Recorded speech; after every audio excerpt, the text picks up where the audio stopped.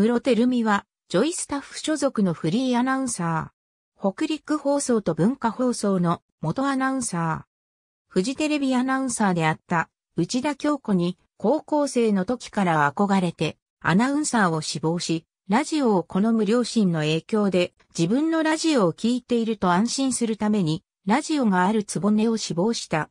東京都立九段高等学校を経て、独協大学法学部へ進学する。大学在学中はミス独協を務める他にテニスサークルの大会で準優勝し、イベント司会などでアルバイトにつき、アナウンサースクールに通う。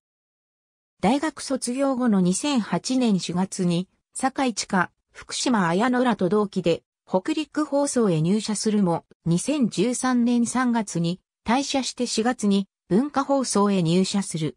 友人らに、テルミン、文化放送で、ムロリンと愛称される。2016年3月に文化放送と契約任期が満了して退社し、5月1日に一般人男性と入籍したと5月9日に吉田照美とべ、サルバドールで報告した共演した吉田照美と名前が同じ照美で番組内は互いに名字で呼んだ。2018年8月1日の走れ歌謡曲で第一子妊娠と9月末をもっての番組卒業を発表した。同年11月26日に第一子となる女児を出産したことをブログで報告した。